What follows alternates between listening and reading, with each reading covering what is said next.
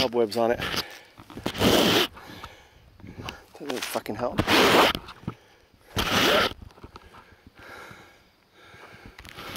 we can't see things. Oh, there's all the fishing up there, the oyster beds. They needed to like fucking cut these little shrubs off. So maybe this mountain does have a name. Something on this side, kanji. Kanji on there. Can't read it though.